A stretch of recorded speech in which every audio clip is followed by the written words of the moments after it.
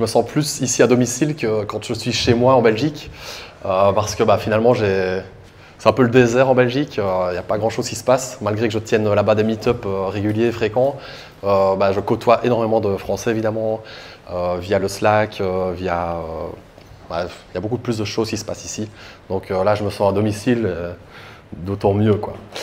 Donc on va aborder Bull Bear Market, être du bon côté de la tendance avec Starensen. Donc je vais me présenter. Voilà. non, mais trêve de, trêve plaisanterie. voilà, j'ai quelques casquettes. Donc comme vous savez, euh, je tiens, donc, euh, comme je viens de le dire, des meet-up euh, à Liège qui s'appellent Bitcoin Liège. On tient ça tous les mois. On avait fait des premières occurrences en 2013, puis ça a été mis au frigo pendant un petit temps pour les recommencer en 2017 et donc là, ça va faire deux ans qu'on a déjà fait des meet-up. Je fais ça avec euh, Philippe Lalou, je sais qu'il me regarde là. Salut Philippe. Euh, donc euh, il y a eu des moments de doute, on va en parler. C'était corrélé avec le prix du marché. je crois que c'est des signaux intéressants. Je suis ingénieur de formation de l'Université de Liège. J'ai passé dans le poker pendant, pendant mes études. C'est grâce à ça que j'ai connu Bitcoin. je suis actif également sur Twitter, sous Bitcoin, si vous voulez me suivre. Je suis actif dans la, vie entrepreneuriale avec euh, quelque chose que j'ai arrêté maintenant, mais voilà, ça s'appelle HiveMate, c'est une collaboration d'idées, d'échange d'idées. Je suis admin sur le Slack euh, CryptoFR, un, un site euh, que j'invite tout le monde à rejoindre. Il y a plus ou moins 4 à 5 000 personnes dessus. C'est, je pense, des premiers, une des premières communautés francophones. Il y a également un forum que je dois citer. Et euh, récemment, j'ai euh, lancé une initiative qui s'appelle B40 Lux, qui est une société de, gestion de crypto-assets, crypto-actifs. Euh, ben on, va venir, on va en reparler plus tard. Alors, ça c'est la présentation, mais dans les faits, dans la réalité, en fait, je suis plutôt... en fait, ça fait 7 ans que je suis dans les crypto-monnaies. Alors 7 ans, c'est quand même énorme quand on, quand on sait que c'est 7 jours sur 7, 24 heures sur 24, ça vous fait perdre quelques cheveux gris, enfin quelques cheveux. Euh, ça fait euh, en gros à peu près une trentaine d'années si on devait le transposer sur euh, les marchés classiques. Donc on voit traverser énormément de choses. donc je peux dire que finalement je suis plutôt devenu philosophe des marchés ou des cryptos pense euh, au marché et essayer d'envisager les choses. Et d'un autre côté, je suis aussi généralement souvent en PLS pour des raisons diverses et variées. Il y a énormément de choses qui se passent, des hauts, des bas. Et donc, euh, je suis un peu des deux en fait. Euh, et pour résumer, c'est les cryptos, c'est vraiment YOLO, c'est, débridé et c'est une expérience exceptionnelle où j'ai eu la chance d'être au bon moment, au bon endroit. Euh, et je pense que c'est que le début quand même encore. Donc il y a encore énormément de, choses qui vont, qui vont se développer, que ce soit sur un, plan euh, trading, etc., mais aussi philosophique, euh, sociologique et politique, etc. Il y a vraiment énormément de pans. on est vraiment dans une, une, révolution parmi d'autres qui arrivent dans nos sociétés.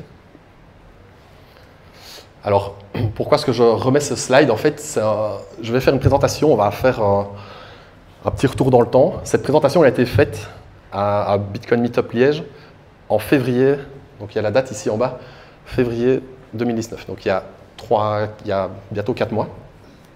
Et en fait, Philippe m'a dit Bon, ben, on n'a rien à faire là, euh, il faudrait trouver un speaker. on n'en trouvait pas. Et puis il me dit bah, Essaye de faire un truc sur le bear market. Ah, bah oui. À ce moment-là, le Bitcoin ne faisait que baisser de mois en mois.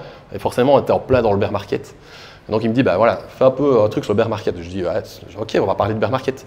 Puis en fait, finalement, bah, qu'est-ce que je pouvais dire sur le bear market à part dire que déprimer tout le monde que le Bitcoin baissait quoi. Donc euh, j'ai dû un peu euh, me creuser les ménages et me dire bon bah on va essayer de trouver quelque chose quand même d'intéressant à dire sans faire déprimer tout le monde.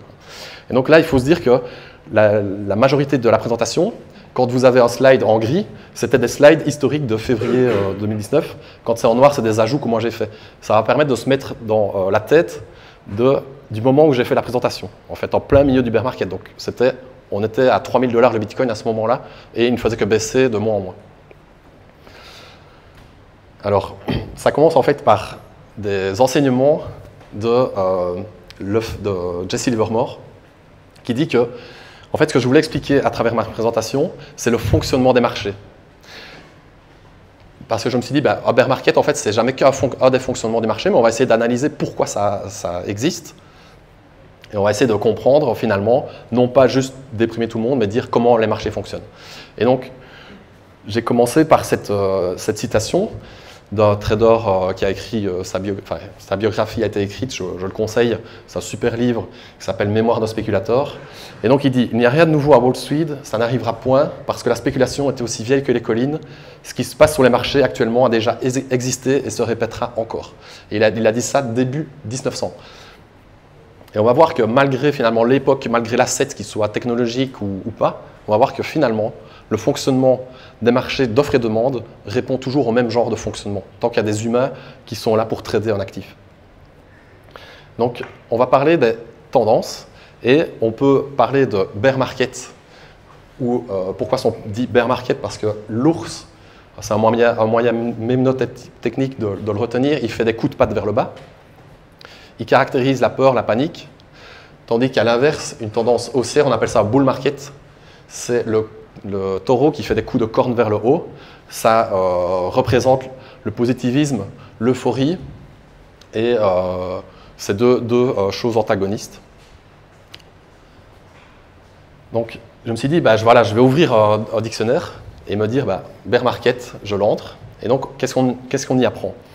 On y dit que c'est un marché dans lequel le prix est en train de descendre et qui encourage la vente. Et à contrario, le bull market, c'est un marché dans lequel les prix augmentent et encouragent euh, l'achat. Donc qu'est-ce qu'on peut retenir de ça? C'est qu'en fait, c'est euh, un phénomène qui s'auto-entretient.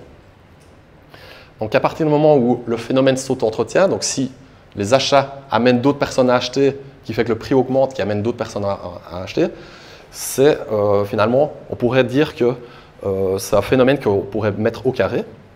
Alors ce que je veux dire par ce slide, c'est qu'en fait, ça a été quantifié que l'effet de la peur est deux fois plus important que l'effet de l'euphorie euh, faite avec des gains. Donc à partir du moment où on met ces deux choses au carré, vu qu'elles s'auto-entretiennent, on aura généralement, donc ça c'est un graphe du Nasdaq euh, sur, euh, sur deux ans et demi, et on peut voir que à partir du moment où il y a eu une hausse à partir d'un plus haut qui a été dépassé, ça a duré 100 jours, et quand il y a eu une baisse, fin de l'année 2018, ça a été quatre fois plus rapide, plus ou moins. On a ce genre généralement de ratio qui arrive. Donc on a souvent des bull markets qui mettent quatre, fois plus de temps que le crash qui, surprend un peu tout le monde. Mais en fait, c'est parce que on a ce, phénomène de, peur qui est deux fois plus importante que euh, l'optimisme.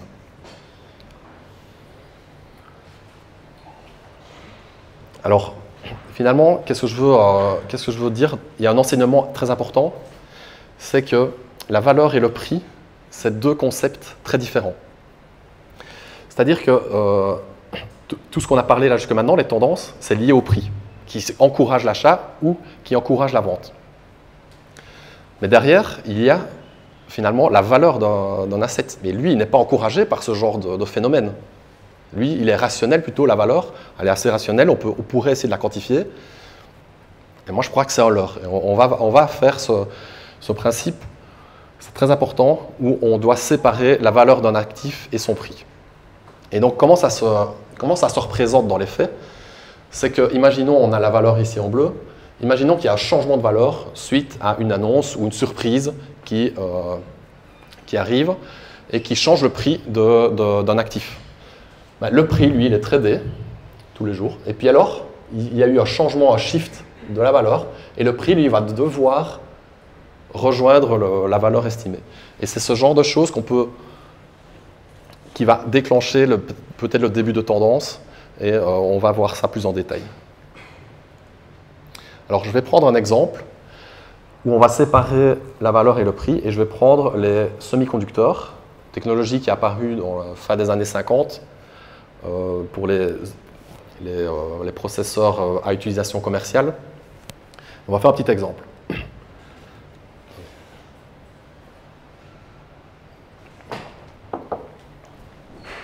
Donc ici, on a, on a un indice qui s'appelle SOX, qui est un indice, un panier d'entreprises liées aux semi-conducteurs.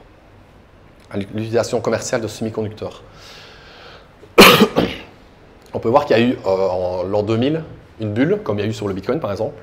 C'était évidemment la, bulle .com qui est arrivée et qui a fait grimper le prix de 200 à 1600. Puis il y a eu un crash derrière. Est-ce que fondamentalement la valeur, donc ça c'est une image représentative de la valeur qui est totalement abstraite que j'ai mise moi-même. Ça n'a pas valeur de, ça n'a pas, euh, c'est pas une vérité, mais c'est pour l'exemple. Est-ce que quand il y a eu la bulle sur le, prix finalement, est-ce que la valeur était foncièrement beaucoup plus haute à ce moment-là? Je pense pas en fait. Donc on peut, euh, on peut derrière un actif mettre, estimer une valeur, mais ce n'est pas ça qui va payer finalement, ce n'est pas ça qui est retranscrit, c'est toujours, ce sera quand même le marché qui a raison. Alors je vais expliquer que la valeur des semi-conducteurs, quand on réfléchit, on se met dans les, euh, années 2000, euh, ben on se dit quand même que euh, l'utilisation de semi-conducteurs va augmenter à travers le temps. On va utiliser de plus en plus de semi-conducteurs, de plus en plus d'ordinateurs, de smartphones, etc. Et donc, on peut, se dire que la valeur ne fait qu'augmenter, mais le prix, lui, est, comprimé finalement dans une accumulation on peut voir qu'il y a une divergence entre un aspect fondamental qui, va, dans lequel on peut visionner quand même des applications Internet qui vont apparaître et, Bitcoin derrière, hein, ça fait partie des semi-conducteurs aussi. Mais malgré tout, le, prix, lui, reste stable pour au final, à un moment donné, faire un plus haut de 12 ans et finalement rattraper peut-être le prix, enfin plutôt rattraper la valeur euh, qui, elle, continuait d'augmenter. Alors, cet exemple, il est un peu, euh, un peu simple parce qu'on a euh, un biais rétrospectif qui est euh, assez important. C'est-à-dire que c'est très simple quand on se met dans la place d'un investisseur, on se dit, bah oui, Microsoft, on savait que ça allait marcher, il fallait vraiment investir dedans, on savait que tout le monde allait avoir des, Windows chez soi, etc. Mais dans un autre sens, on aurait pu dire pareil avec la machine ici à droite. Euh, ça s'appelle le FISC. C'était du disque envoyé par fax, par exemple. Mais à ce moment-là, dans les années 80, quand, 90, quand 90, quand c'est apparu, euh, on, se disait que c'était peut-être une super bonne idée, quoi, en fait. Donc il faut toujours se mettre dans le contexte que estimer la valeur de quelque chose, pour les, pour les semi-conducteurs, c'est un peu facile de se dire, bah oui, le, truc, euh, la valeur du semi-conducteur va continuellement, continuellement augmenter, mais c'est quand même un biais rétrospectif, c'est qu'on l'a vérifié que plus tard. Euh, donc pour, ce, pour cet exemple, euh, il faut essayer de réfléchir en probabilité pour estimer une valeur et en honnêteté et humilité. Et pour l'anecdote, ce genre de, super bonne idée, elle coûtait 1000 dollars hein, à l'époque pour envoyer des, des disques par fax. Donc là où je veux en venir, c'est que si on se met aujourd'hui avec le prix du semi-conducteur, qui est prêt à faire un, plus haut dans tout le secteur, quelle serait la valeur future? Alors ce qu'on pourrait, on, pourrait se dire, bon, euh, la valeur, on peut essayer de l'estimer, mais on ne sait pas comment le prix va réagir. Donc je m'explique. La valeur, on pourrait essayer de lui dire, de lui donner des scénarios. Donc euh, j'ai listé quatre scénarios par exemple. C'est imaginons que les semi-conducteurs d'ici 2030 soient totalement désuets. À ce moment-là, la valeur, parce qu'on sera sur des ordinateurs quantiques, on aura plus besoin de semi-conducteurs par exemple. Je ne sais pas si c'est vrai ce, genre de scénario. Ça, ça, va euh, tendre vers zéro. On pourrait se dire qu'on aura toujours besoin de petits semi-conducteurs pour ce que j'appelle un scénario où on aurait besoin de caisses enregistreuses dans les magasins qui seront basées sur des petits microprocesseurs. On pourrait se dire aussi que l'intelligence artificielle, euh, les véhicules électriques, EVs, electric, electric vehicles, vont amener une demande énorme en semi-conducteurs. Et on pourrait aussi estimer qu'il y a un scénario dont on n'a pas du tout envisagé encore actuellement euh, l'apparition, pourrait aussi pousser la demande en semi-conducteurs euh, vers le haut.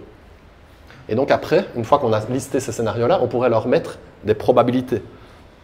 Et donc là, j'ai mis au hasard 30% pour euh, des études, 30%, 15%, et un scénario à soupçonner, 25%. Et donc, on n'a que, finalement, c'est une inconnue, on va devoir spéculer sur euh, les scénarios suivant comment nous, on va les pondérer. Il y en a qui vont pondérer, par exemple, ils sont persuadés que les semi-conducteurs vont disparaître, ils vont pondérer à 100% le scénario désuétude et ils vont parier sur ce scénario-là. Il y en a d'autres à l'inverse qui vont parier à la hausse. C'est comme ça qu'on a de la spéculation, offre-demande sur une inconnue. À un instant T, on ne saura jamais prédire forcément le futur. Et euh, on va voir après comment euh, le prix, lui, peut réagir. Donc par exemple, ici, j'ai pris le, prix du café depuis les années 70. On peut voir qu'il est entre un range de 50 dollars et 400 dollars. Il varie comme ça. Et, moi, je mets une valeur du café qui diminue. Est-ce que vous savez dire pourquoi? Est-ce que Kaltov veut tenter d'expliquer pourquoi la valeur du café diminue? Oui. Exact. voilà.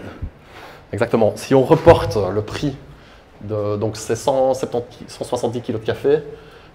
En 1975, on le payait 300 dollars plus ou moins de l'époque. Ça vaut comme si on le payait 1400 dollars en 2019.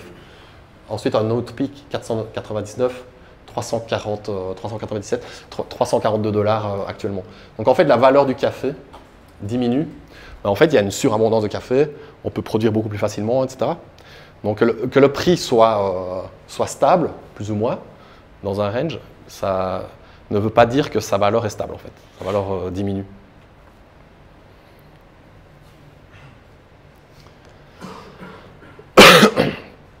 Donc ça c'est un truc, un concept important à savoir, c'est que la valeur est différente du prix. Prenons un autre exemple, l'uranium, qui jusqu'avant Fukushima était en train de baisser, on va dire. Et puis il y a eu Fukushima, à ce moment-là, on ne sait pas que.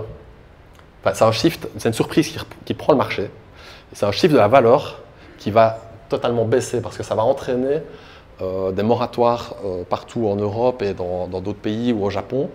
Et donc, du coup, d'un coup, la valeur de l'uranium diminue, mais le prix, lui, continue d'être tradé et va essayer de rejoindre finalement la valeur. Ça ne se fait pas du, jour au lendemain, en fait. Euh, ça a imposé donc, des moratoires en, en Europe. Et puis finalement, moi, je, mets vers 2014 que la valeur de l'uranium commence à augmenter parce qu'on remarque qu'il y a une augmentation de, la puissance nucléaire, qui, de réacteurs nucléaires qui est installée euh, dans le monde. Et par exemple, il y a des pays arabes qui vont commencer à lancer des développements de, centrales nucléaires, alors que historiquement, ils étaient basés sur du pétrole. Donc, c'est des signaux quand même importants. Et donc, je pense que bah, la valeur de l'uranium augmente, mais pourtant le prix, lui, continue de baisser.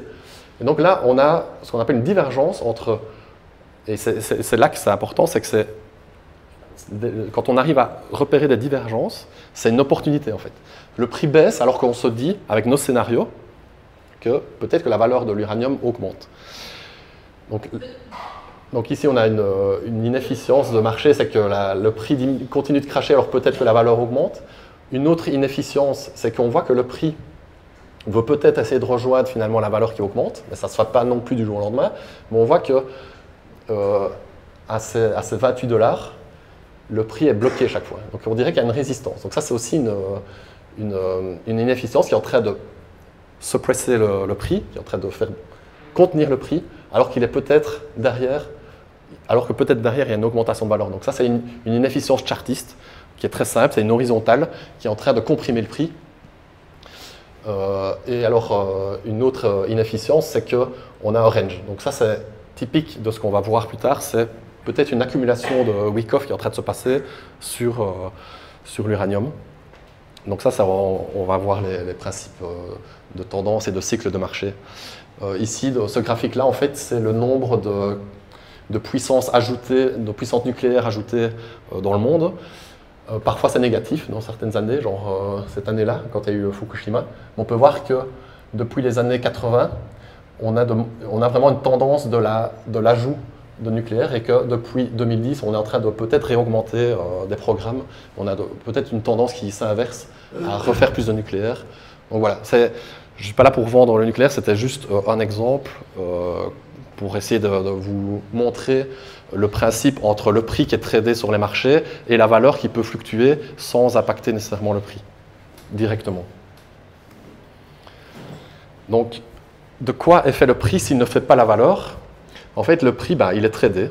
C'est une valeur financière uniquement. C'est-à-dire que ce n'est pas parce que la valeur double que le prix va doubler. Si la valeur double, le prix peut, euh, peut décupler. Euh, c'est totalement un artefact humain, le prix. Donc il y a beaucoup trop de tendance à vouloir essayer de rapprocher ce qu'on estime d'un modèle et le prix doit fit ce modèle. En fait, le prix, il est totalement rationnel, il est humain, il y a, euh, il y a de la cupidité, il y a de la peur, et donc ça, ça, ça fluctue très fort. Et c'est des fonctionnements qui, ont, qui sont séculaires et qu'on peut théoriser et anticiper. Et donc ça se passe là-dedans, depuis euh, la bourse d'Anvers au XVIe siècle, la bourse d'Amsterdam où se tenait Breaking Bitcoin euh, il y a quelques jours, au XVIIe siècle, et euh, récemment, dans, donc ça c'est au Chicago Pit, voilà, c'est des gens qui décident d'un prix. Et ça, ça a des fonctionnements qui sont, comme je le dis, séculaires, et je pense qu'on peut les théoriser. Alors, quelle est la, carte finalement pour essayer de, la boussole pour essayer de s'en sortir dans ce genre de, chaos apparent C'est finalement de dire que, comme je viens de le dire, le prix est humain et il y a moyen, je pense, de l'anticiper. On peut anticiper finalement.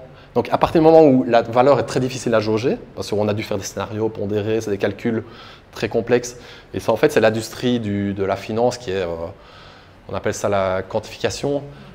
Ça, occupe des desks de, PhD, etc. Ils essayent de trouver un modèle pour modéliser le prix de quelque chose. Et donc eux, en fait, ce sont des gestionnaires moraux, c'est-à-dire que euh, la gestion de ce qu'ils font, elle, passe de, manager en manager de génération en génération. Donc eux, ils ont une vocation avec un time frame qui dépasse la vie de l'individu. Donc eux, ils ne s'intéressent pas trop aux fluctuations du prix, ils veulent modéliser comprendre euh, tous les assets du monde et ils ont toutes des formules comme ça et ils savent comment investir. Donc ça, c'est les quants et c'est comme ça que marchent la plupart des gestionnaires de hautes banques d'affaires, etc. Mais nous, en tant qu'individus, on n'a pas ce pouvoir de... Euh, notre vie est assez courte on va, essayer de s'en sortir sur les marchés et on ne peut pas commencer à décider de trouver la valeur de tel ou tel truc. Et à partir du moment où c'est surévalué par rapport à la valeur qu'on estime, on va vendre. Ou si c'est sous-évalué, on va acheter. C'est beaucoup plus sale que ça, quoi, la spéculation avec le prix. Il va falloir euh, s'y coller. Et si on veut spéculer, il faut rentrer dans ce jeu-là ou, euh, ne pas participer à, ce genre de phénomène. Donc je pense que là, je vais essayer d'apporter une boussole, finalement, comment s'en sortir là-dedans. Donc finalement, le particulier, lui, qu'est-ce qu'il va exploiter? Il va exploiter les inefficiences de marché. En fait, il va essayer de trouver des, opportunités où, de manière chartiste par exemple, ou de manière avec les tendances, il va essayer de se dire, bon, ben là, ça a été beaucoup trop bas, je pense que maintenant, euh, il y a une inefficience entre, euh, il y a une divergence entre le, prix qui a fort baissé et pourtant tous les métriques me montrent que c'est en train d'augmenter. Donc ça, c'est une inefficience par exemple.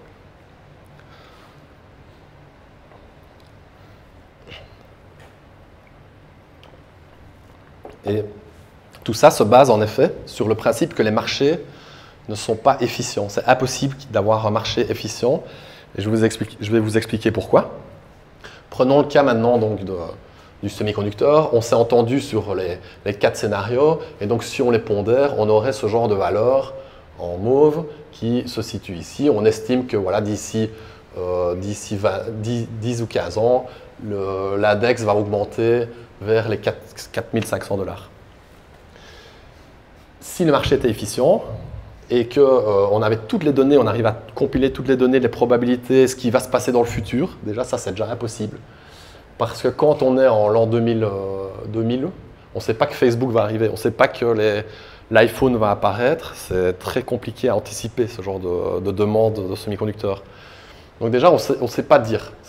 Les scénarios que j'ai listés ici sont totalement, euh, totalement débiles. Dans, 15 ans, on va se dire, ah, c'est sûr que l'IA ne va jamais utiliser du semi-conducteur, mais on ne sait pas le dire ça. Il y a des effets euh, papillons aussi imprévisibles il y a euh, il peut y avoir aussi des législations qui vont apparaître dans tel ou tel secteur, qui vont complètement euh, décimer un secteur pour en favoriser un autre. Donc c'est aussi très compliqué à anticiper. Il faudrait aussi une liquidité, une réactivité théorique parfaite. C'est-à-dire que dès que euh, le prix s'éloigne un, tout petit peu de, la valeur réelle, il faudrait qu'il le suive directement dans l'instant. Ça, c'est aussi impossible. Donc ça, on a souvent vu ça dans le Bitcoin, etc.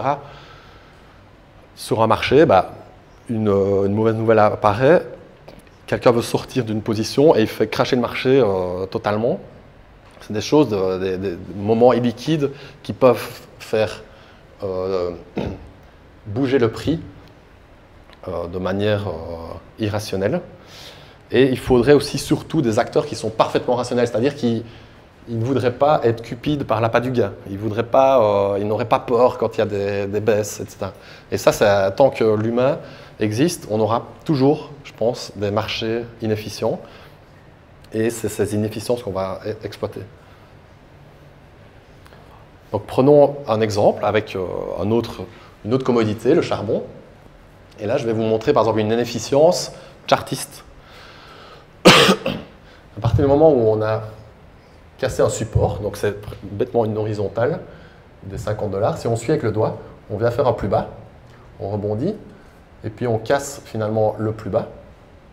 Et on va suivre avec le doigt, on fait un plus bas, on, casse de nouveau ce plus bas, on fait un plus bas, on le casse ici, ici un plus bas, on rebondit, on le casse, un plus bas ici, on rebondit, on le recasse. Et puis qu'est-ce qui arrive, c'est que, on peut, faire l'expérience, hein. j'ai tracé ici une petite ligne en pointillé, c'est la première fois qu'on fait un plus haut, par rapport à des petits rebonds. On avait chaque fois fait des petits rebonds, mais jamais le prix était passé au-dessus d'un rebond. Ici, on avait fait un rebond, on est passé pour la première fois au-dessus. Donc pendant 5 ans, on a eu le prix qui était en tendance baissière. C'est pour ça que j'ai mis un fond euh, rouge avec des inefficiences chartistes. C'est-à-dire que c'était quasiment voué, le, le charbon était voué à passer de 50 dollars à 5 dollars mais il a dû le faire en 5 ans. Peut-être que la valeur derrière était... Tout le monde avait prévu que le secteur allait être désaffecté, par exemple, que la Chine allait sortir du charbon, etc. Peut-être que la valeur était très basse, mais le prix a mis 5 ans pour essayer de rejoindre euh, une valeur très basse du charbon. Et à partir du moment où on a finalement fait un plus haut par rapport à un rebond, on va dire que la tendance baissière était mise derrière et il y a eu un nouveau cycle qui est apparu pour finalement faire euh, un range où euh, le prix est contenu, on va dire entre un support ici et une résistance ici, entre 18 et 12 euh, dollars. Et donc bien malin, maintenant celui qui pourrait dire, à partir de ici, quelle est la suite de l'avenir du charbon Est-ce que ça va partir vers le haut Est-ce que ça va partir vers le bas? Et ça, c'est impossible à dire. Alors, ce qui est bien avec les inefficiences chartistes, c'est qu'il suffit finalement de repérer une consolidation, de repérer qu'on a un niveau de prix de 12 dollars et de 18 dollars. Donc là, on devient un acteur rationnel. On n'est plus quelqu'un qui est euh, comprend pas très bien comment fonctionnent les marchés. Là, on, on devient un, acteur sur les marchés rationnel. On n'a qu'à mettre finalement deux alertes entre 12 et 18. On reste agnostique vis-à-vis de l'avenir du, charbon, ça ne nous intéresse pas. Par contre, il y a de fortes chances que si on casse les 12 dollars la tendance baissière finalement, ça, ce n'était qu'une grande pause dans la tendance baissière et elle, se déclenche à nouveau pour aller chercher de plus bas. Ou, si ça casse les 18 dollars, on pourrait peut-être avoir une tendance baissière qui a totalement sous-évalué très fort le charbon. Et peut-être pour une des raisons X ou Y, je n'ai pas du tout le marché, peut-être que le charbon va revenir en force avec euh, l'éolien et des choses pareilles. On aura besoin de, charbon. On ouvre des nouvelles centrales en Europe occidentale. Bah, peut-être qu'en fait, on a un marché haussier qui va, qui, va, euh, qui va démarrer. Ce qui va entraîner une alimentation de la tendance par elle-même. L'appât du gain va amener des spéculateurs qui va faire augmenter le prix et peut-être qu'un nouveau cycle de marché va se passer. Donc là, on devient un spéculateur euh, rationnel sur les marchés avec un outil qui était, enfin, deux outils qui sont deux, des horizontales et comprendre, visualiser qu'il y a eu une tendance baissière de 50 à 5 dollars, c'est quand même énorme. et qu'on a repéré ce mouvement-là, où c'est la première fois qu'on avait une force dans le marché, en 5 ans. Ça, c'est vraiment... Vous pouvez faire l'exercice, je vous invite à le faire. La première fois qu'on a une force dans le marché en 5 ans. Et donc, euh, moi, à ce moment-là, euh, au Bitcoin Meetup Liège, j'essayais de commencer à introduire le fait que on est là-dedans. On est du charbon là pour l'instant en, février. On est dans un cycle qui, tant qu'il n'est pas, pas fini, il va, tout, il va s'alimenter. Mais il y a un moment où on va voir une force dans la tendance. Et euh, vous pensez, ah, on va faire un vote. Qui pense que le charbon va augmenter? Alors, et, ok. Et qui pense qu'il va, baisser du coup? Le reste Ok, donc euh, pour ceux qui ne voient pas, il y a 90% de la salle qui pense que le charbon va, euh, va continuer de baisser. Donc on verra ça dans... En fait, ici, chaque barre, c'est trois, semaines. Donc euh, on verra, peut-être dans, dans 5 ans, on verra où, où, il, où il est. autre question, peut-être que vous pensez qu'il sera en range d'ici 5 ans, en fait. Peut-être qu'il va rester aussi... C'était une autre, autre option possible, en fait. Ok. Bon, on, va, voir si vous êtes des bons traders. Donc voilà, j'ai apporté ici deux pièces. Horizontale, tendance. Finalement, les, tendances, pièces c'était pas bon mot, mais deux inefficiences de marché. Et les tendances, elles, sont, elles se représentent en trois pièces. Il y a les tendances à la hausse, il y a les tendances neutres, sideway, et les tendances à la baisse. Et il y a un, agencement magique de ces trois pièces pour faire quatre phases. Et c'est ce qu'on va appeler un cycle de Wyckoff, qui a théorisé ça euh, au début du XXe siècle, qui a été euh, rehaché, en fait c'est un rehash de la théorie de Dow, et ça a été remis au goût du jour par Weinstein et par Minervini. Mais en gros, avec nos trois pièces, on a une pièce où on est en range, accumulation. À partir du moment, on va voir ça plus en détail, à partir du moment où l'accumulation est terminée, il y a une hausse, puis ensuite, on a une pièce encore horizontale qui est la distribution. Et puis après, si on casse la, distribution, on a une pièce qui est la tendance baissière.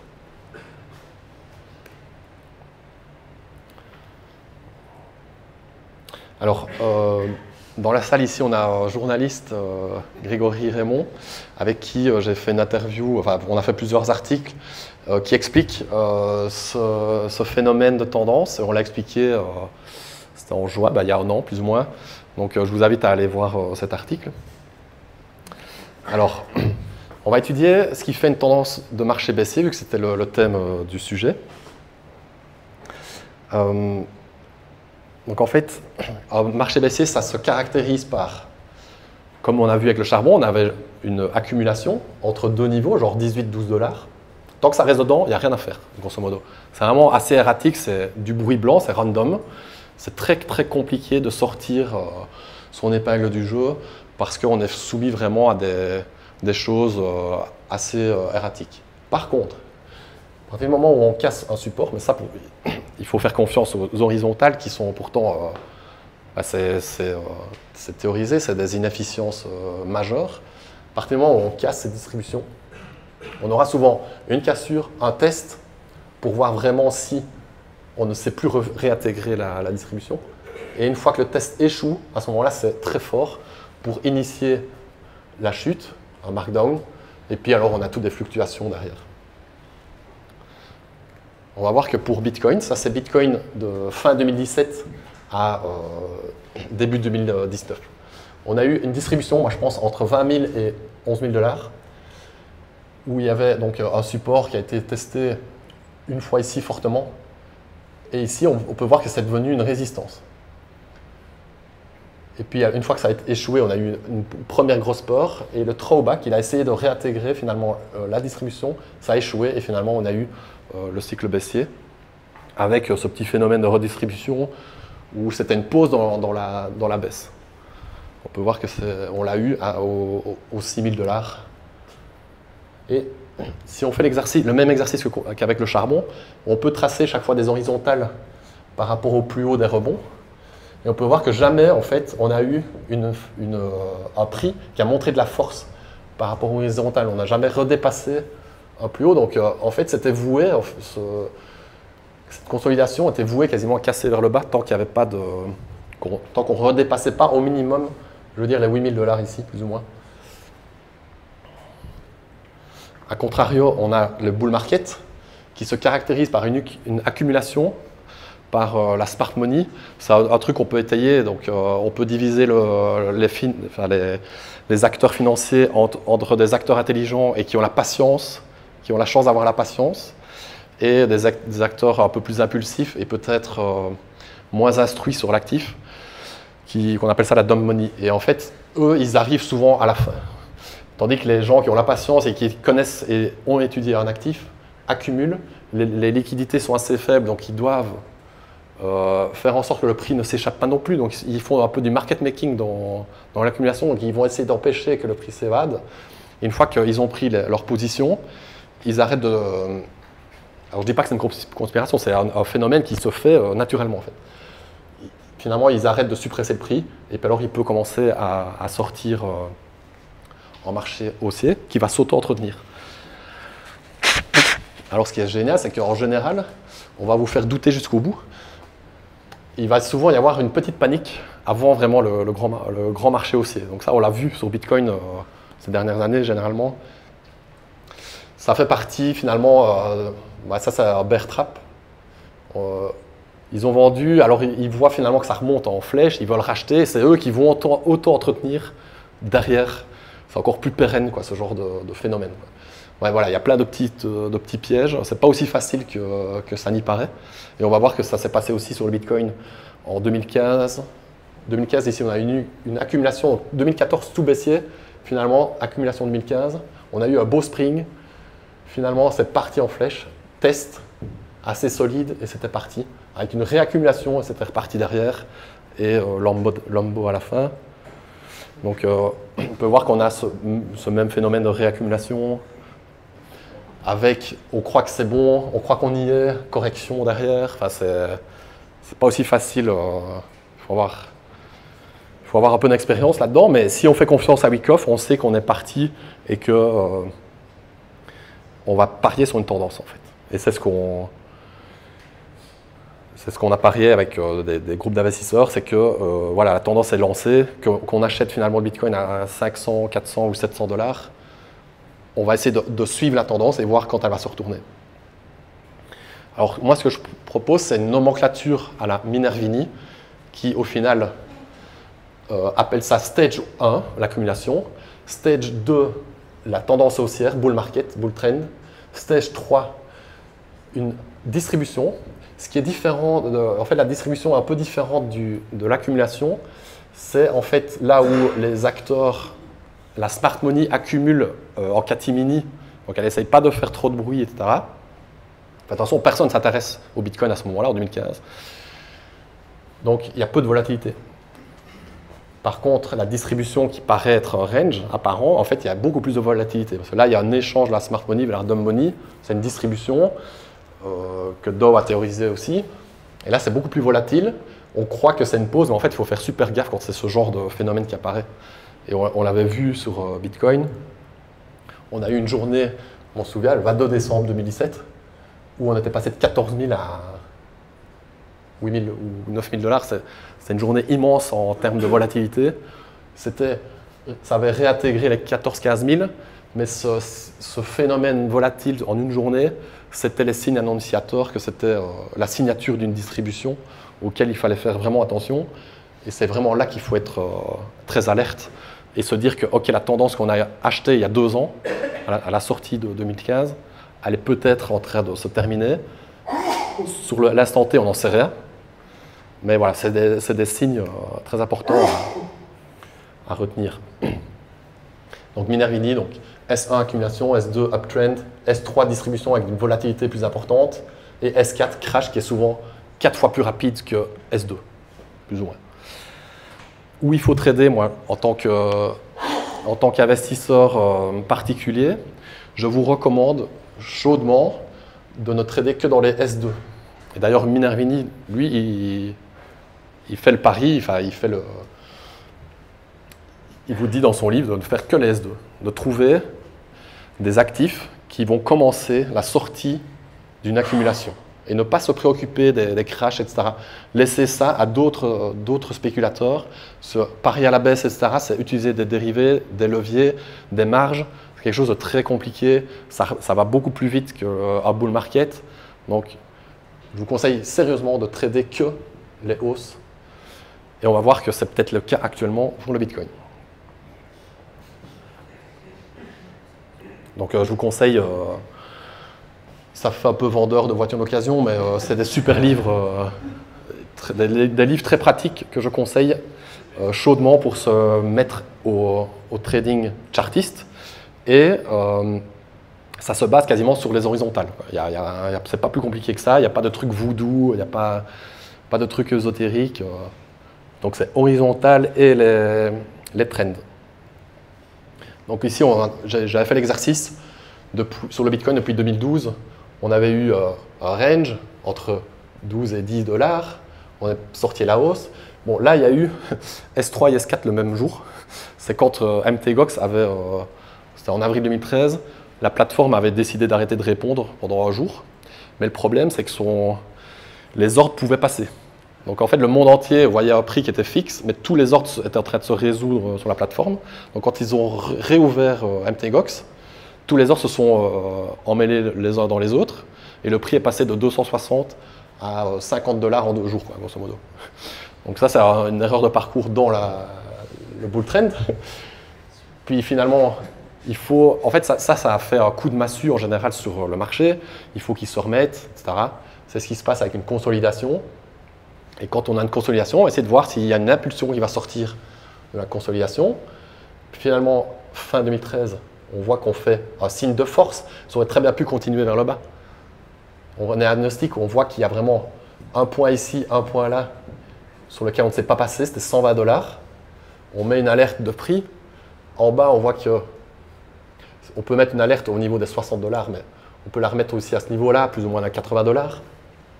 Et on, est, on en sait par où euh, l'impulsion va, euh, va aller.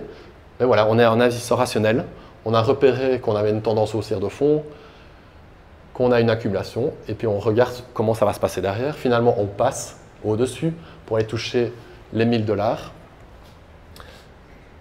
Euh, là, on a aussi eu des journées, notamment celle-ci, très volatiles, qui vont mettre un prix plancher, qui pourrait être utilisé comme support pour faire un genre de boîte également, distribution, finalement, qui a enclenché un bear market d'un an, euh, de tout 2014, pour revivre le même phénomène, S2 et ça. Donc là, on reprend. On avait le S1, on continue, de 2015, qui, là, est un bull market qui nous a mené jusqu'à 20 000 dollars euh, fin 2017. Alors ça, c'est une c'est une photo que j'avais prise en février et j'avais identifié directement les, boîtes. S3 en parlant de la journée du 22 décembre, qui avait fait un truc très volatile, distribution peut-être, et peut-être S4 derrière, ou peut-être une accumulation, comme on a vu euh, en, 2013. On aurait pu faire une accumulation genre assez haut en fait. On n'est pas obligé de faire tout le temps un bear market, ça peut être euh, à ce niveau-là. Donc voilà, j'avais émis les deux hypothèses.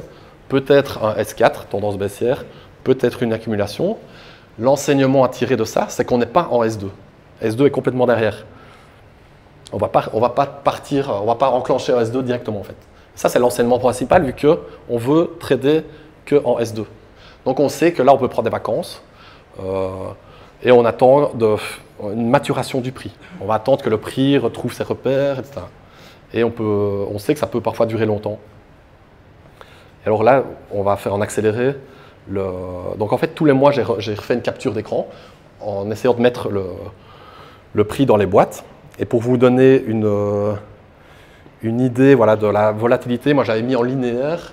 On peut voir l'idée de l'ampleur en fait de la, de la volatilité pour faire la boîte S3. On peut voir qu'on est venu deux fois tester aussi donc ça, on revient à l'image précédente avec les cycles de Wyckoff. On voit qu'on va quitter la distribution, on vient la, on tester c'est impossible de revenir dans, ce, range. Et ça, c'est un signe aussi très très fort de faiblesse euh, du marché. Euh, donc voilà, je vous fais en accéléré. Donc on a le prix qui est entre 10 000 et 6 000 dollars. Et on sait toujours qu'on n'est pas en S2. Euh, alors, je vous conseille en général d'utiliser un indicateur pour essayer d'avoir une convergence avec ce que vous êtes en train de lire sur les graphiques. Alors cet indicateur, il ne doit pas être très, complexe. Donc là, c'est un RSI. Je vous conseille d'en utiliser qu'un ou deux indicateurs, pas plus. Et dans ce cas-là, pour le RSI, on peut faire le même genre d'exercice, mettre les boîtes en couleur et voir comment le RSI se comporte. Euh, dans ce cas-ci, on peut voir que tout S2, le RSI était au-dessus de la valeur 50 médiane. Et il y avait même un support dans le dernier, donc de 1000 à 20 000 dollars, il y avait même un support sur la valeur 55. Et puis on peut voir que finalement, on a la distribution, le crash, et on repasse en dessous de cette valeur 50, 55. Donc l'idée, c'était de se dire, ça confirme, l'indicateur confirme euh, finalement notre, euh, notre mapping de, de, la carte du prix du Bitcoin. on continue jusqu'en novembre, le 5 novembre ici. Et puis là, là où j'avais mis deux boîtes S1, finalement, elles cassent. Elles cassent par le bas. Finalement, je peux quasiment effacer S1, je peux dire, ben voilà, c'est S4 qui continue en fait. On peut voir que même ici, le RSI casse au même moment, vers le bas. Donc on est encore loin de retrouver un cycle haussier. On continue. Donc euh, décembre, là je saute deux mois, parce que euh, je ne sais pas. je crois que je m'étais désintéressé du Bitcoin à ce moment-là.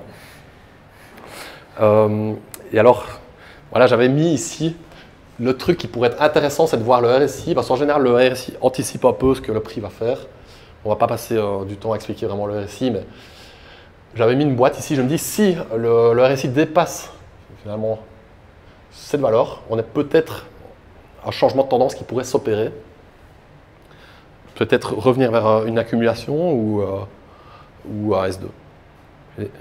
finalement, ce qui se passe le 2 avril, on voit que le, récit est venu pile au, bon endroit, mais ça, c'est de la chance, hein, pur, euh, hasard. C'était plus la valeur qui était importante que l'endroit exact. Et on peut voir qu'on avait une boîte qui se faisait depuis décembre, fin décembre, qui était en 3000, 4000 dollars en gros. Avec des réjections ici, en fait, c'est un, niveau un peu farfelu, mais bon, une, deux, trois, quatre fois, le prix avait été rejeté euh, par une horizontale. Et qu'est-ce qui se passe? Comme avec les ordres du charbon, première fois qu'on voit le prix passer à plus haut de quelques mois. Avec le récit qui confirme qu'il bah, sort finalement. Bah, il passe au-dessus du niveau 50 même. Donc on a une convergence entre un indicateur qui est très simple, le prix, et comment nous on a mappé le truc, euh, et donc voilà, j'ai eu beaucoup de gens qui, me disaient, et je pense que vous êtes peut-être sûrement posé la question, quand c'était la fameuse consolidation à 6000 dollars, vous êtes sûrement posé la question à, vous dire, ben voilà, il y a un support à 6000, est-ce que je dois acheter en fait? En fait, c'était une erreur euh, de se dire qu'il fallait acheter.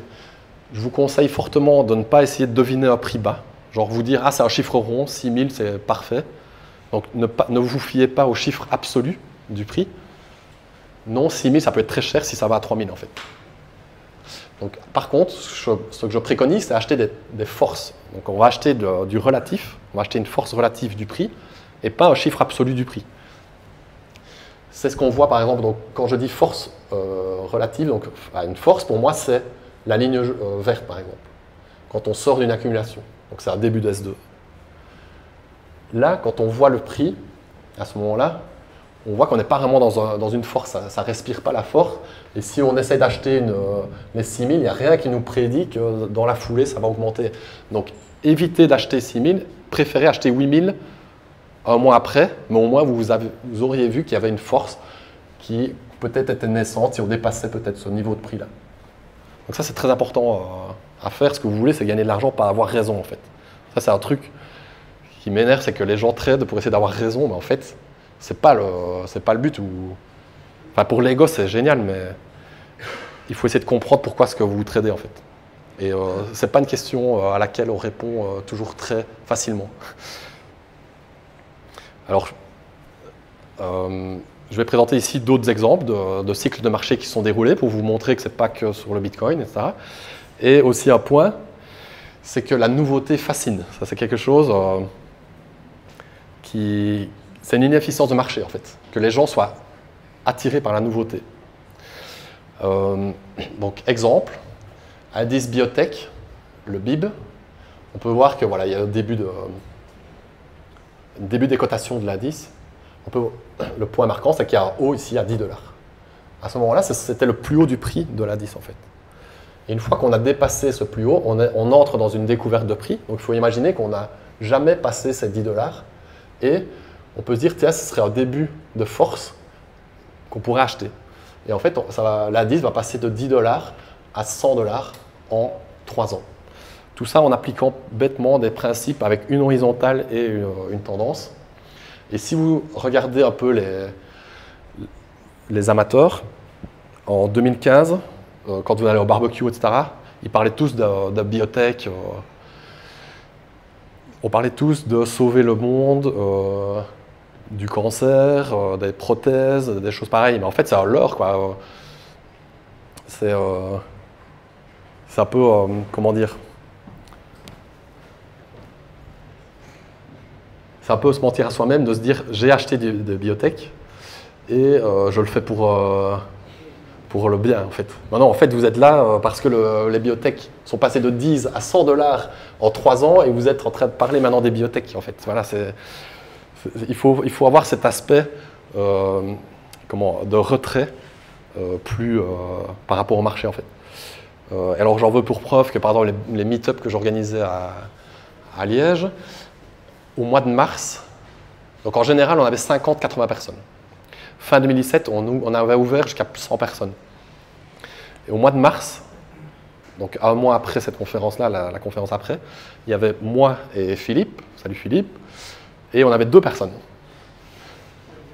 Et moi, en 2017, quand on a lancé les meet-up, c'était juin 2017, pile il y a deux ans, je disais continuellement à la salle, à l'assemblée, que vous êtes là, euh, c'est pas par hasard, quoi. C'est parce que le truc est en train de monter et vous êtes là.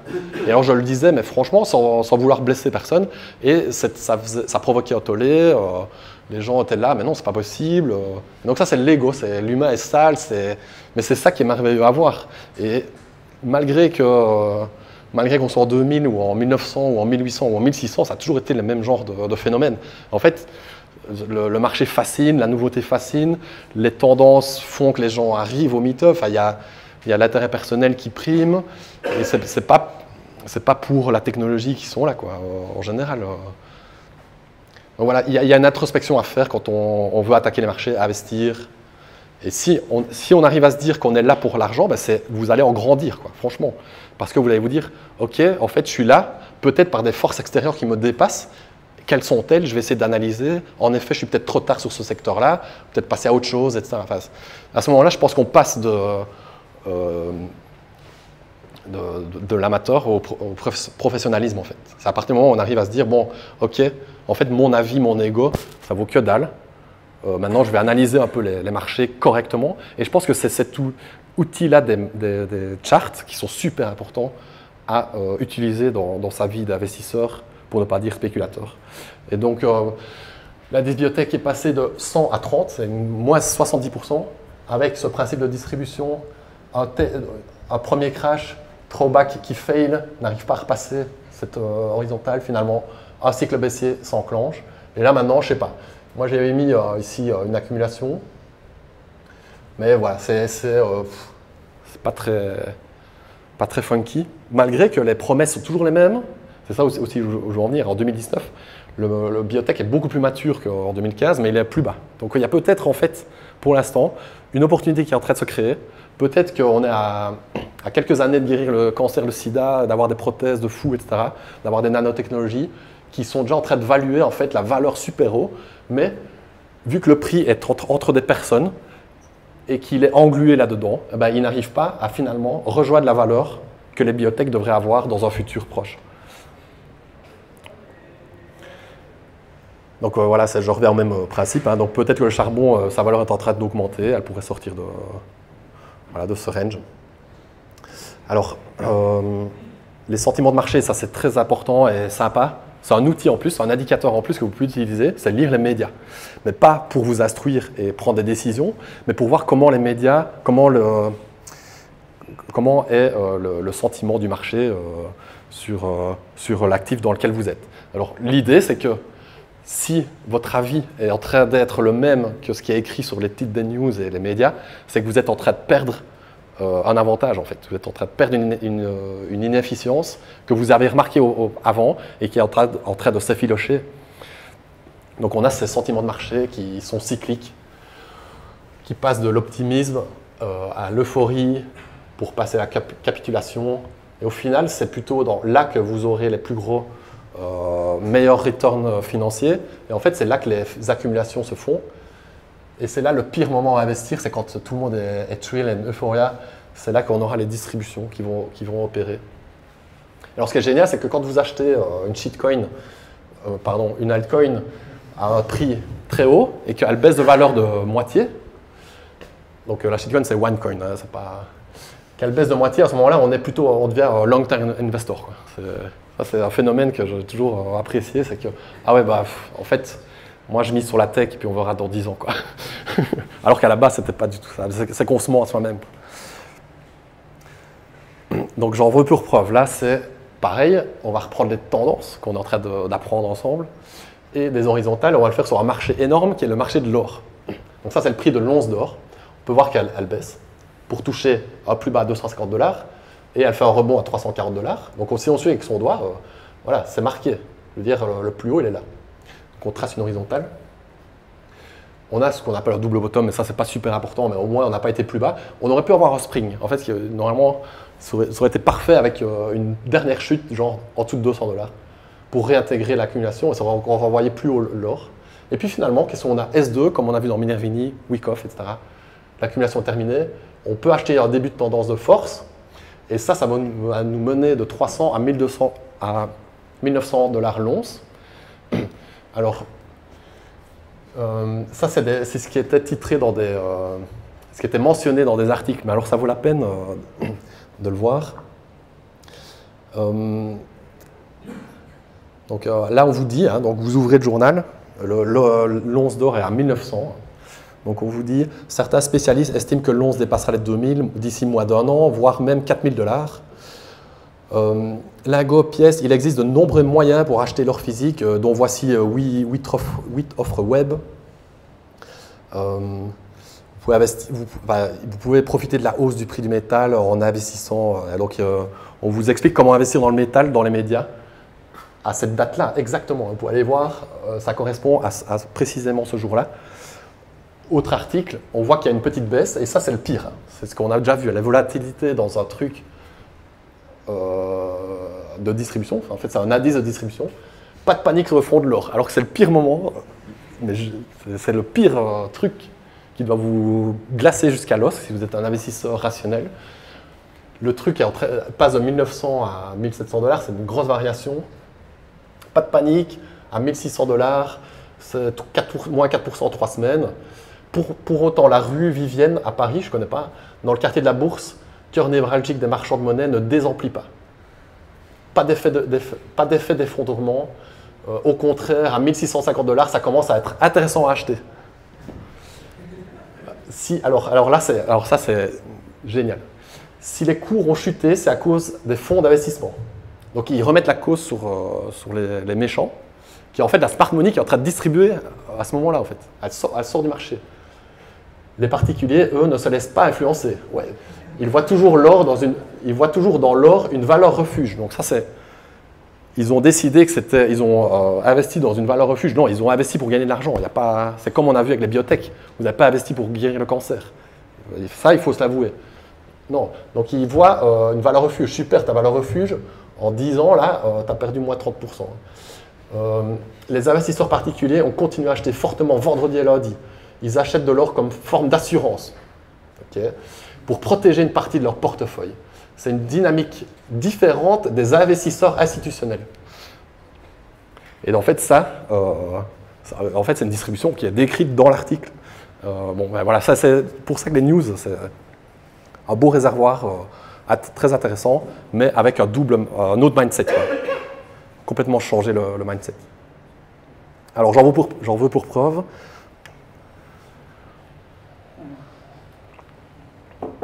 Que après les, les 20 000 dollars de Bitcoin, on faisait ça le compte dans, au Café Numérique, c'est une institution à Liège où euh, bah, c'est sold out, voilà, vous l'avez marqué, où on parle du Bitcoin, le 24 euh, avril. Le 15, 24 euh, janvier, le 15 janvier, un grand magazine belge se lançait trois mois pour doubler sa mise.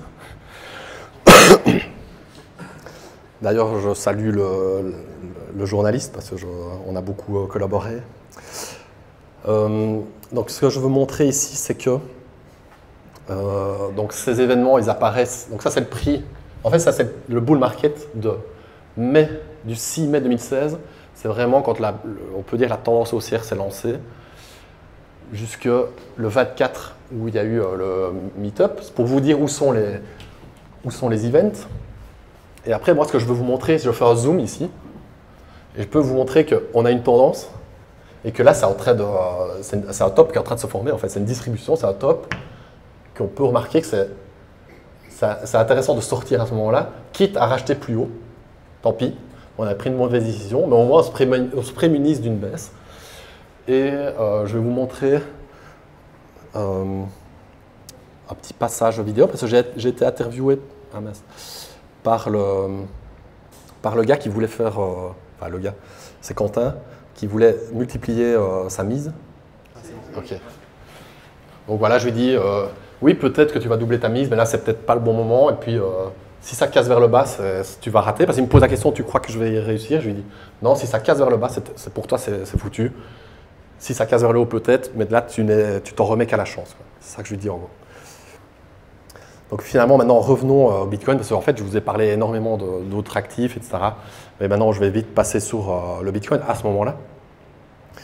Euh, ce qui se passait, c'est que le Bitcoin avait des drawdowns énormes.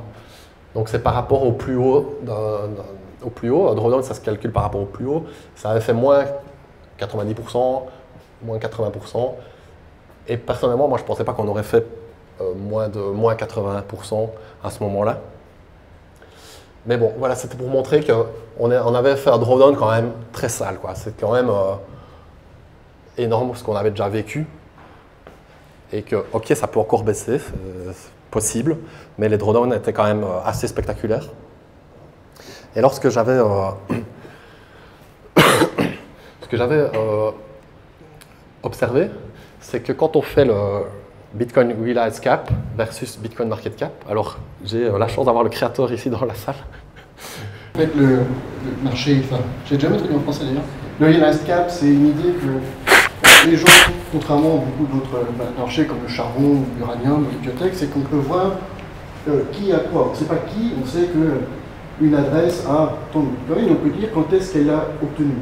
Et quand on multiplie chaque bout de bitcoin au moment, au prix auquel il a été obtenu, ça donne une idée en fait du, euh, du prix d'achat global du bitcoin. On voit souvent que dans les tendances, comme tu dis S2, c'est que la valeur, enfin le, la valeur sur la chaîne des gens qui vont diminuer, c'est que les gens ont des gains en papier, ils ont de l'argent qu'ils n'ont pas encore dans la banque. Converti. Et que quand le prix du marché est en dessous, c'est qu'au contraire, il y a beaucoup d'argent sur la chaîne qui n'est pas dans la banque. Et les deux ont tendance à, généralement à se rencontrer de temps en temps.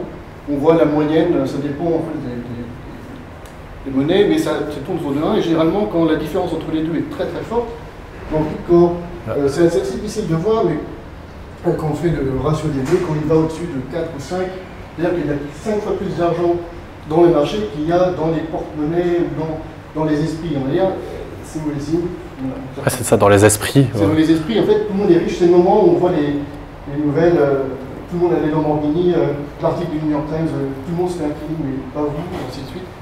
Alors que l'inverse, on en parle moins, c'est quand les gens sont sous l'eau qui pour Bitcoin arrive assez souvent, mais quand vous faites la même comparaison avec les monnaies qui n'ont pas eu la chance d'avoir plusieurs cycles de hausse, il y a beaucoup de gens qui sont souvent sous l'eau très très longtemps.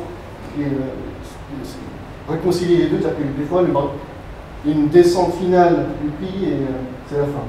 Ce qui n'est pas le cas pour Bitcoin encore. Merci beaucoup pour euh, ces éclaircissements. Donc moi, ce que j'avais remarqué avec cet indicateur, on va dire, c'est la concrétisation de, la valeur dans la tête des gens par rapport au market cap en fait. Et à un certain moment, le market cap descend en dessous de ce que les gens En fait, ça se rapproche plutôt de la valeur du Bitcoin. En fait. Ce que les gens ont en tête comme valeur du Bitcoin. Ils sont prêts à garder les Bitcoins et ne pas les vendre à ce moment-là. En fait. Ils sont prêts à, pas les, à faire les mains fortes. En fait. ça, c'est des, époques, des moments de mains fortes, c'est-à-dire que le prix est très bas, mais ils, continuent de hold le, Bitcoin euh, à ce moment-là. Ce que j'ai remarqué, c'est que ça coïncidait avec un, S1, enfin, ou du moins un, bas de marché en 2011, 2012, un bas de marché en 2015, et on était en train de vivre ça en 2019, là actuellement, enfin, quand je présentais cette, euh, cette présentation en février. Donc je me disais que peut-être on allait repasser par euh, au-dessus. Ensuite, ce qu'on peut faire, c'est de voir dans les inefficiences de marché, c'est est-ce que le prix est en train de baisser de manière irraisonnée et irrationnel par rapport aux métriques qu'on peut essayer de trouver dans, euh, dans l'écosystème. Et donc aussi, on avait le nombre de transactions euh, qui, contrairement au prix qui diminuait depuis novembre, était en train d'augmenter, par exemple. Transactions continuaient d'augmenter malgré une baisse du prix. Euh, on avait les block size qui étaient au plus gros jamais observés. alors, il y avait aussi, par exemple, est-ce que c'est le moment de, vendre Bitcoin dans le sens où il est à peine au début d'une adoption? Si on parie sur Bitcoin, sur son principe de, monnaie, je pense qu'il va s'acquérir par l'adoption. Et euh, je voulais rappeler à, l'audience que Bitcoin, quand on regarde les statistiques, les sondages d'utilisation des cryptos, en général, que ce soit en Europe, en Amérique, euh, en Asie, c'est un peu plus flou, mais Europe-Amérique, ou du moins dans le monde occidental, nord-occidental, on est à 8% en général d'adoption crypto euh, direct indirect. Et on est, en fait, quand on a une technologie, on peut euh, parier sur une adoption en S à partir du moment où on dépasse en général, comme un virus, 15 euh, à, 10 à 15% de la population qui l'utilise. Et à ce moment-là, ça va faire euh, une hausse en hockey stick qui finalement nous montre que bah, c'est quand même un pari qu'on peut faire qu'il y a encore une adoption qui va arriver du, Bitcoin, par exemple, qui arrivait avec, par exemple, Samsung, le S10, qui inclut euh, un wallet crypto. Alors ça, je ne sais pas finalement si ça s'est vérifié, parce que ça, c'est en février, le S10 est sorti deux mois après, mais il me semble que les versions coréennes ou asiatiques ont ce crypto wallet. Je ne sais pas si quelqu'un peut confirmer. Oui? Ok. Donc voilà, ça, je trouvais que c'était euh, des news qui étaient intéressantes dans le sens où il y avait une divergence entre le prix qui baissait et les news sont assez bonnes. Dans ce cas, ce n'est pas des news, c'est des euh, faits, des faits en fait, euh, qui sont importants à souligner et qui peuvent amener le Bitcoin finalement à être plus adopté et avoir cet effet de virus qui va se répandre. Et on est encore qu'au tout début de, cette adoption, je pense. HTC qui lançait aussi Exodus, euh, alors ce qui était intéressant, un point important du Bitcoin, c'est que malgré que euh, les, altcoins fluctuent fortement au niveau de leur ranking, il y en a qui apparaissent, qui disparaissent, euh, Bitcoin lui restait tout le temps numéro 1. on peut encore l'update avec 2019. donc c'est une référence de valeur. Je voulais dire par là qu'à partir du moment où le, bah, voilà, c'est un étalon de, valeur de l'écosystème qui sont il numéro 1 à ce niveau-là. On avait une adoption du Lightning Network euh, avec euh, la, somme de bitcoins bloqués sur les channels et le nombre de channels ouverts qui est assez, euh, impressionnant en termes de progression. Et on avait à l'époque 738 bitcoins sur Lightning Network. Je ne sais pas où on en est actuellement, plus de 1000. on avait le hash rate, pareil, donc je reprends toujours novembre. Hein qui, était un moment important, novembre 2018, où normalement le prix, lui, a craché vers le bas et le hash rate, lui, augmentait. Donc c'était une, euh, divergence en plus. Là, j'ai update. Finalement, le hash a repris des plus hauts de, 2017, enfin 2018 plutôt, parce que le, top était en 2018. On a des, euh, des, services des, business models qui sont en train de se développer, notamment par exemple avec Blockstream, qui offre plusieurs services avec des business models éprouvés. On avait des, news des fonds de pension qui commençaient à investir le marché crypto-monnaie. Et tout ça, c'est tout le temps en divergence avec le prix qui baissait on avait une news qui était pour moi très importante, c'était le JPM Coin, qui paraît anodin et paraît ne pas avoir de relation avec le Bitcoin. Mais je pense qu'il y a une relation importante à partir du moment où une banque va commencer à essayer d'utiliser des clés asymétriques de la cryptographie et euh, utiliser un, ledger distribué entre leurs agences et peut-être entre d'autres banques, ça va subventionner finalement la recherche et le développement dans ce genre de, secteur qui jusqu'alors était subventionné quasiment sur fonds propres, sur fonds privés, euh, enfin plutôt sur fonds propres. Et là maintenant, on a une institution privée qui se lance à subventionner peut-être des, milliers d'ingénieurs qui, par ruissellement, vont retomber peut-être sur le Bitcoin. Et un autre, euh, un autre scénario que j'avais envisagé, c'est que les autres banques vont se lancer aussi. Et à terme, il, il pourrait y avoir une banque centrale qui sera euh, familiarisé avec cette rétention de crypto-tokens, etc., et qui pourrait lancer le début d'une banque centrale qui accepterait le Bitcoin en tant que réserve dans, ses réserves. Donc voilà, je pense que ça commencera par là. Donc pour moi, c'est quand même une news euh, importante, euh, malgré ce qu'on en pense euh, de JP Morgan. Évidemment, là, c'est la news récente, c'est Global Coin. On n'en a pas beaucoup de de, détails, mais tout porte à croire qu'il y aura des nodes. Ils ont été en contact avec Gemini et Coinbase. Ils ont contacté la CFTC et pas la Fed, euh, quoi qu'ils ont vu la Banque centrale euh, anglaise. Mais bon, il y a beaucoup d'éléments qui ont fuité. Apparemment, ça va sortir dans quelques jours les détails de leur Global Coin. Apparemment, c'est le 18 juin. je pense voilà, que c'est une news importante aussi pour le secteur. C'est peut-être ce qu'on est en train de vivre actuellement avec la hausse sur le Bitcoin. Je pense que c'est, mon avis, pas étranger à partir du moment où, enfin, le scénario idéal, ce serait que Global Coin puisse s'échanger contre Bitcoin sur un échange. Ça, ce serait euh, finalement une porte dérobée euh, qui pourrait interconnecter finalement cette économie qui va toucher d'un coup bah, sa plus grosse, euh, plus grosse boîte avec le plus de clients, j'ai l'impression, peut-être Coca devant et McDo, mais niveau tech, c'est vraiment impressionnant. Voilà, ça, ça, va sensibiliser les gens il y a quelque chose, à mon avis, de très intéressant. Et je pense qu'on va entrer dans une nouvelle ère. Je ne connais pas encore les détails, hein, je m'avance, mais où on aurait une monnaie privée énorme, quoi, qui dépasse les États. Je pense que ça, c'est tout nouveau. Et ce serait peut-être sur les mêmes genres de principes de crypto, crypto-monnaie. À voir.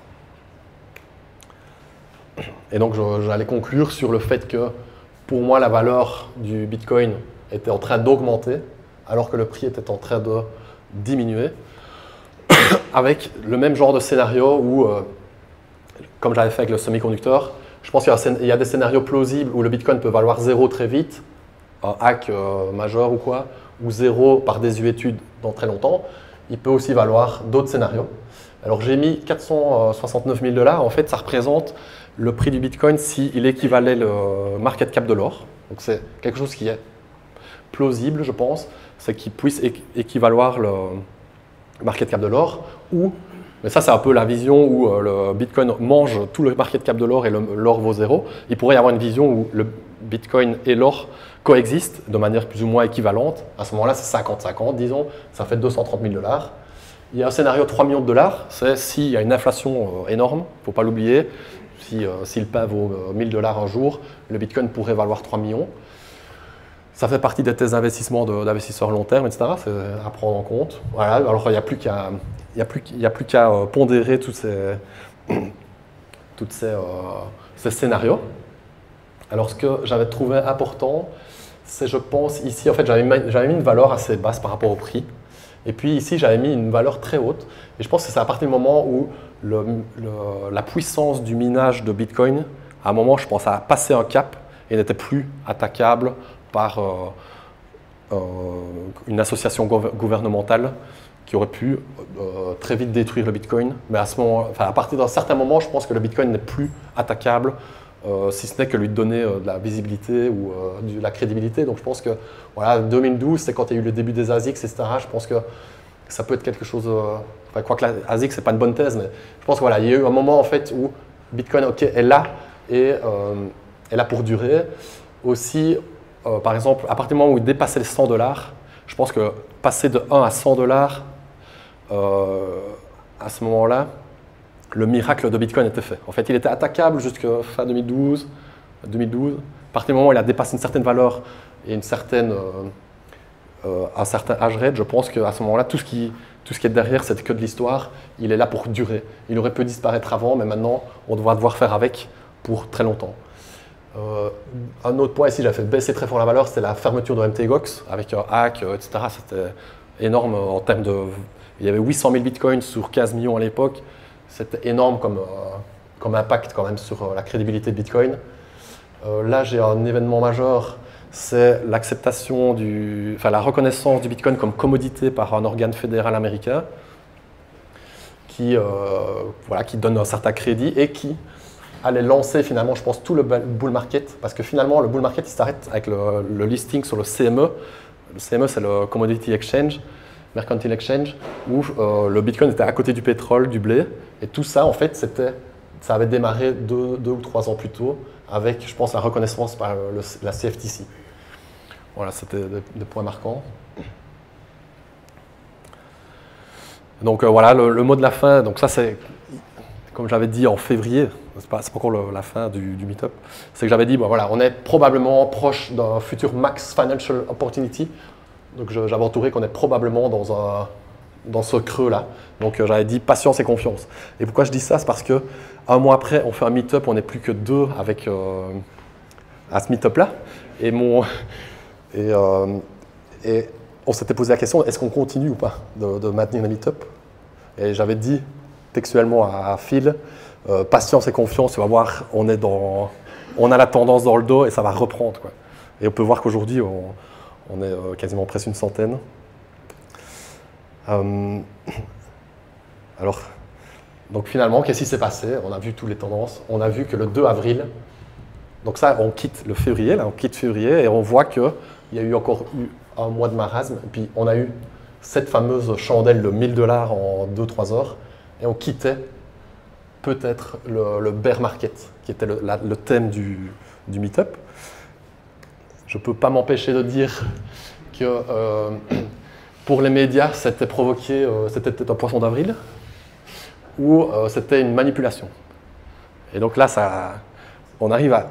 J'espère que à l'issue de ce meet-up, vous allez vous dire que, ben oui, ça c'est un signal chartiste simple qui vous permet de dire, OK, là, il y a quelque chose d'important qui vient de se passer.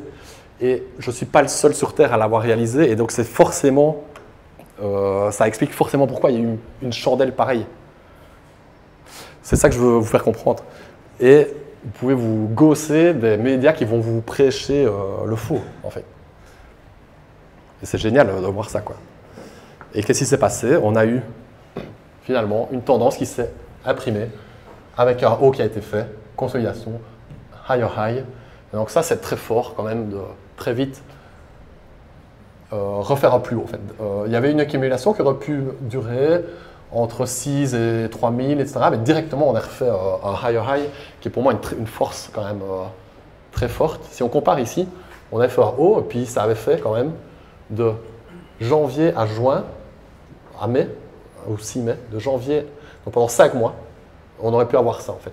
Ici, pendant 5 mois, ce genre de, comportement, mais directement, on a fait un, plus haut, comme ici. Donc je pense, ça a été, je pense qu'en fait, le marché est beaucoup plus optimiste, mature. Il ne faut pas oublier que tout 2015, 2016, etc., ça a été pourri, pourri, pourri par le small block versus big block. C'est un truc euh, énorme qui avait presque scindé la communauté euh, donc ça, c'est des choses, on, peut, on pourrait faire un meet-up euh, là-dessus. Le, Bitcoin pouvait imploser de lui-même en fait. Je pense qu'il y a eu euh, voilà, des subventions dans la communauté. Au lieu de l'attaquer au niveau du mining et d'autres pressions, d'autres coercitions, je pense qu'il y a eu voilà, des subventions derrière pour splitter la communauté, pour mieux la, contrôler. Et je pense qu'elle a su s'en sortir. Ça a mis très très longtemps avec finalement Bitcoin Cash qui décide finalement de sortir du consensus et ça a relibéré le prix derrière. Je pense que ça a été euh, Salvatore. Je vais recevoir plein de caca, etc., euh, d'emoji caca, euh, à mon avis, avoir dit ça, mais je tenais quand même à le dire. Et je pense que maintenant, voilà, l'écosystème, en plus de Bitcoin qui est hyper solide finalement, qui a montré qu'il pouvait être résilient, est encore plus, euh, plus bullish que quand il est sorti de, de 2015.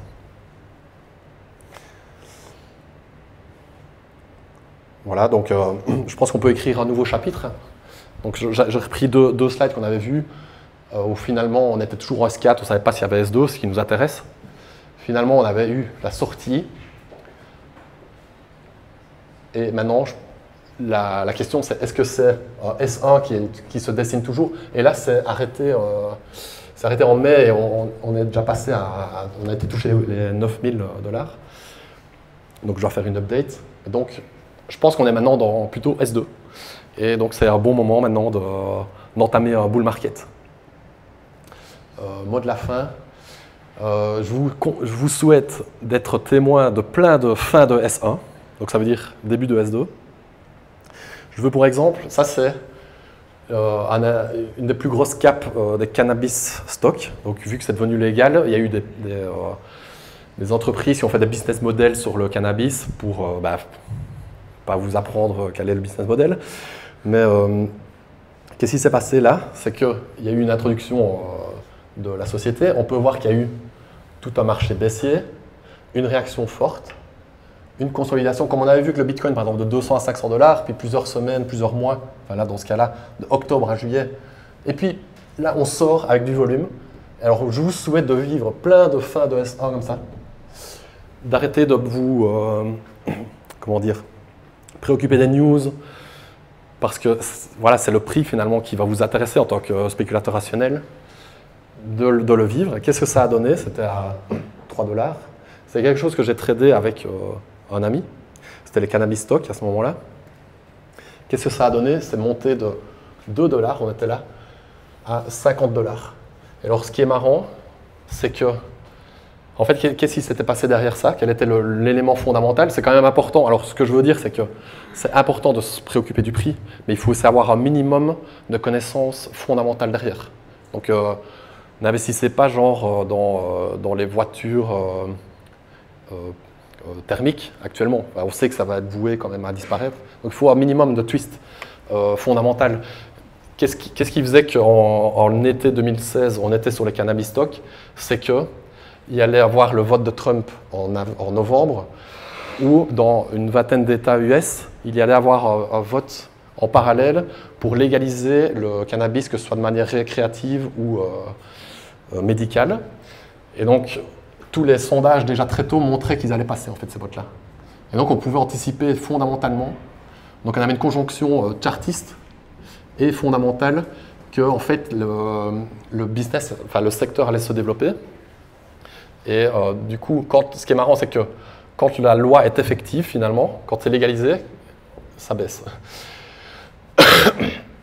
On a également le vote canadien qui allait apparaître, où les, Canadiens ont voté pour, mais la législation effective de la vente de cannabis au Canada était quelques mois après, c'était en fin 2018. Donc le marché a anticipé le, vote favorable, a anticipé la vente du cannabis. Et le jour, le jour littéralement où on peut vendre finalement du cannabis au Canada, le prix a fait moins 60% en, en, un mois derrière. Donc ça c'est le principe achat de rumeurs, vente des news. Et donc c'est tout ce qu'on a vu, accumulation par des, par des, gens qui trois ans auparavant étudiaient le, sujet et euh, concrétisent finalement les gains sur... Euh, sur des événements effectifs. Alors ça paraît très cynique de dire ça. Malheureusement, euh, ça fait des siècles que ça existe. donc euh, ça peut paraître cynique, obscène, tout ce que vous voulez. Vous pouvez rien faire en fait face à ça. c'est vraiment les amateurs qui ont poussé le prix, qui se sont tirés une balle dans le pied eux-mêmes, qui se sont dit ah cool, on va pouvoir vendre du, cannabis au Canada et ils achètent eux-mêmes en fin 2018 on ne peut pas les retenir, personne ne peut les retenir. Il faut augmenter le prix. Au plus il augmente, au plus le crash sera important. Et euh, ben voilà, donc il y a eu moins 60% derrière. Je ne sais pas ce qu'il est devenu après, mais euh, on peut encore, j'imagine, voir euh, une consolidation qui va se former. Et puis on verra, la suite. Voilà, merci beaucoup et je vous souhaite plein d'optimisme.